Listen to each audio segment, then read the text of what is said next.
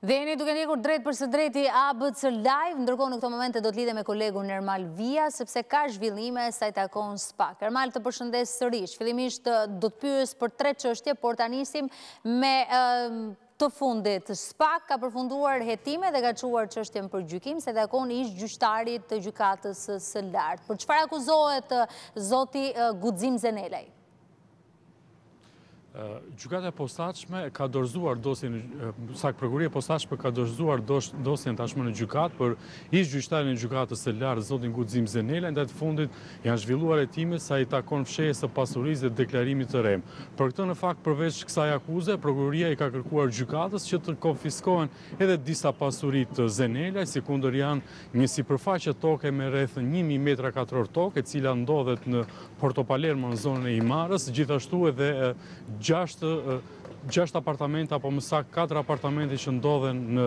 ishull Lezhë dhe dy bodrume të cilat janë kanë qenë në pronësi të Zenelajt. Sipas prokurorisë së posaçme, ai nuk i justifikon këto pasuri, burimin e të ardhurave nuk e ka justifikuar në fakt sa i takon këtyre pasurive dhe për këtë Prokuroria përveç akuzës që ka ngritur ndaj tij atë të fshehjes së pasurisë dhe deklarimit të rremë të pasurisë i ka kërkuar edhe gjykatës sekuestrimin e të paktën shtatë pasurive në pronësi të Zenelajt. Ky i fundit ka qenë në fakt anëtar i Gjykatës së Lartë deri në fakt të vitit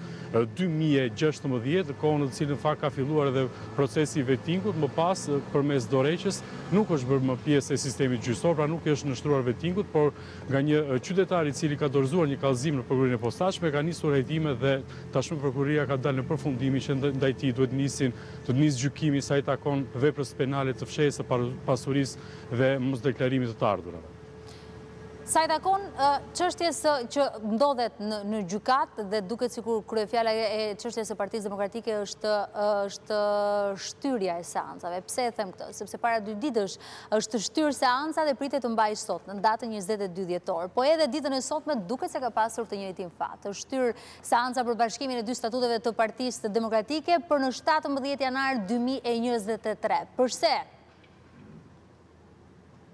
Nëse i referohemi në fakt, kjo është hera e shtatë që Gjykata e Apelit nuk zhvillon, po themi, një proces sa i takon kërkesës së Partisë Demokratike, mbështetësve të kryesisht të ish-kryetarit të kësaj partie, zotit Lulzim Basha, të cilët kanë kërkuar bashkimin e dy kuvendeve, atij të, të zhvilluar në datën 17 korrik dhe më pas tjetrit të zhvilluar në 18 dhjetor të vitit 2021, ku kërkojnë që këto dy kuvende të bashkohen në një të vetëm. Seanca e ditës së sotme është shtyrë pasi avokati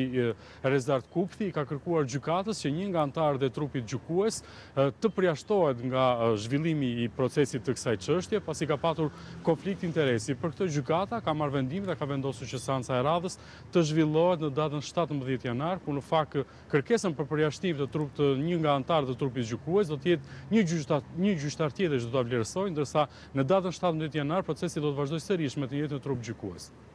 E kuptoj. Edhe diçka të fundit, Ermal. Kur flasim për datën 6 dhjetor,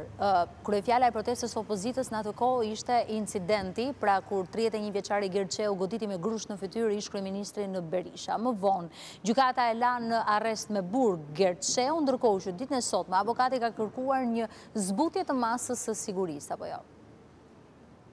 Përmes avokatëve mbrojtës, Gerti Shehu është drejtuar gjykatës së apelit këtu në kryeqytet, ku ka kërkuar një masë tjetër sigurie, ndryshe nga ajo e arrestit me burg të dhënë nga shkalla e parë, ku avokatët në fakt pretendojnë se Gerti Shehu, i cili qëlloi edhe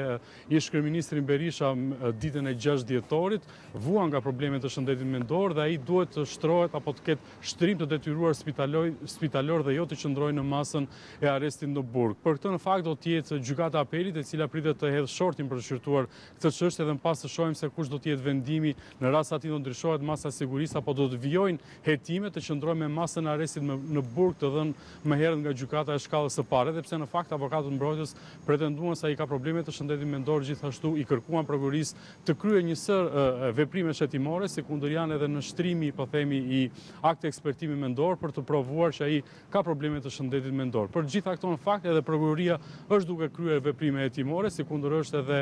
përgjigjja e disa analizave në rast se Gerti Shehu ditën kur ka kryer edhe incidentin sa i takon goditjes së zotit Berisha, ka qenë nën efektin e lëndëve narkotike, po kështu prokuroria pritet të administrojë edhe përgjigjen nëse ai ka probleme të shëndetit mendor apo jo. Ermal Vija, faleminderit për raportimin sa i takon këtyre të rejave dhe zhvillimeve nga SPAK.